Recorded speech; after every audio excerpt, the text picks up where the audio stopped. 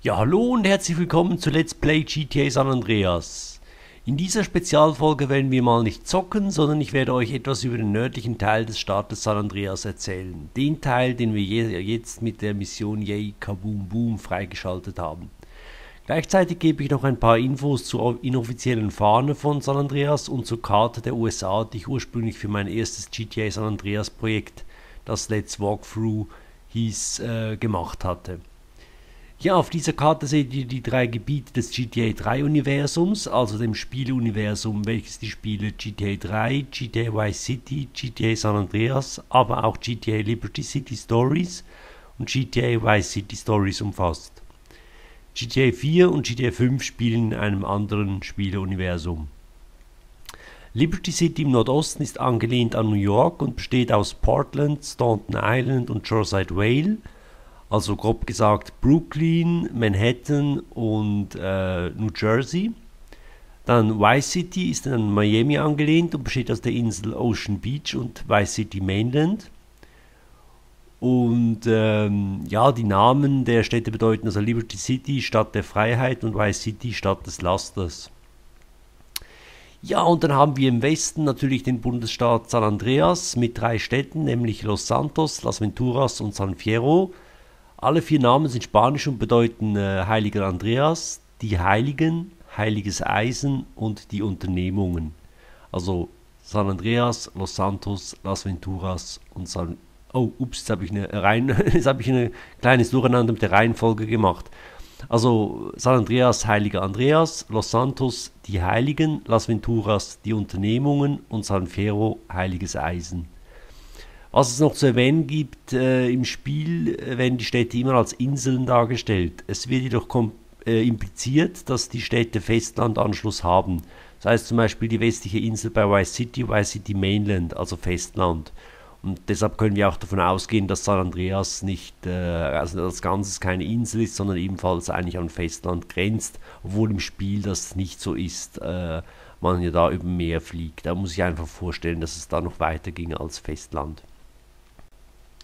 Das Spezielle an äh, GTA San Andreas war ja, dass es dieses Mal nicht nur eine Stadt zu erkunden gab, sondern gleich drei plus fünf Counties, also Gebiete, die ländlich geprägt sind. Auch das gab es bei den Vorgängern nicht. Auf dieser Karte sind die Städte dunkelblau gefärbt, die Countys hellblau. Inspiriert wurde San Andreas vom realen Kalifornien und dem Staat Nevada. Los Santos ist Los Angeles nachempfunden, der zweitgrößten Stadt der USA, San Fierro San Francisco und Las Venturas Las Vegas. Vor allem die Wüstengebiete von Bone County sind dem US-Bundesstaat Nevada nachempfunden. Die Flagge des US-Staates Nevada ist blau und zeigt ein Emblem, auf welchem einerseits Battleborn, also in der Schlacht entstanden, steht, sowie der Name Nevada. Die Flagge von Kalifornien zeigt einen Bären mit dem Text California Republic und einem roten Stern oberhalb und einem roten Streifen unterhalb des Bären ich habe nun für meine Fahne von San Andreas eine Mischung aus beiden Flaggen gemacht. Statt California Republic steht San Andreas Republic und die Farbe des Streifens und des Sterns ist blau. Der Stern bildet zugleich der Stern aus dem Emblem von Nevada und statt Battleborn steht Desertborn, also in der Wüste entstanden, geboren besser gesagt, und statt Nevada steht Bone County. So, nun möchte ich euch noch etwas über das Gebiet erzählen, das wir nun freigeschaltet haben. Im Norden das große Gebiet. Äh, dieses Gebiet war ursprünglich von Indianern besiedelt, höchstwahrscheinlich Stämme der Pueblo-Indianer, die man heute noch im Südwesten der USA findet. Die Siedlungen der Indianer waren hauptsächlich im Westen des Gebietes, da im Osten die unwirtliche Wüste war und es gab mit Sicherheit ein größeres Dorf, dessen Name nicht bekannt ist. Schließlich kam es zwischen dem 16. und dem 18. Jahrhundert zu einer Kolonisation des, Spiel, des äh, Gebietes durch die Spanier. Die Spanier brannten das Indianerdorf nieder und gaben ihm den Namen Aldea Malvada, was böses oder schlechtes Dorf bedeutet. Die Spanier gründeten im Süden, dem Gebiet, das sie San Andreas nannten, die Städte San Fierro und Los Santos und im Norden die kleineren Siedlungen El Quebrados, das Gebrochene, Las Barrancas, die Schluchten, Las Payasadas, die Mätzchen oder der Unfug und Las Brujas, die Hexen und schließlich Las Venturas, die Unternehmungen.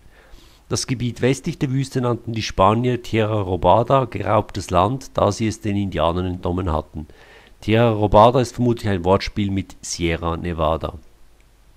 Als Mexiko 1821 unabhängig wurde, kam das Gebiet von San Andreas und Tierra Robada an Mexiko und nach dem Mexikanisch-Amerikanischen Krieg von 1846 bis 1849 Entschuldigung, nach dem Mexikanisch-Amerikanischen Krieg von 1846 bis 1848 schließlich zu den USA. Die USA gründeten zusätzlich die Hafenstadt Bayside ganz im Westen sowie das Fort Carson im Südwesten der Wüste, die sie Bone County nannten. Las Brujas wurde im Verlauf des 19. Jahrhunderts zu einer Geisterstadt. Fort Carson war der Verwaltungssitz von Bone County und der eigenständigen Tierra Robada, und der Status des Gebietes rund um Fort Carson war nicht ganz geklärt. Kulturell gehörte es zu Bone, zum Bone County, das nach Bau einer US-Basis und nach Erdölfunden rasch einen wirtschaftlichen Aufschwung erlebte. Historisch war es jedoch noch Teil der Tierra Robada. 1931 bis 1935 wurde der Sherman-Damm gebaut, dessen Reservoir oder Stausee einen Teil des Gebietes überflutete. Nun wurde der Teil östlich des Stausees von der Tierra Robada abgetrennt und dem Bone County angegliedert. Las Venturas, äh, Las Venturas wurde mit dem Strom des Sherman-Dammes gespeist und entwickelte sich zur Spielerstadt und dehnte sich nach Süden und Westen aus. So entstanden die drei Gebiete im Norden, Tierra Robada im Westen, dann Bone County und Las Venturas. So, ich hoffe, dieses kleine Intro hat euch Spaß gemacht und ihr könnt unsere nun folgenden Touren durch diese drei Gebiete auch genießen. Und tschüss!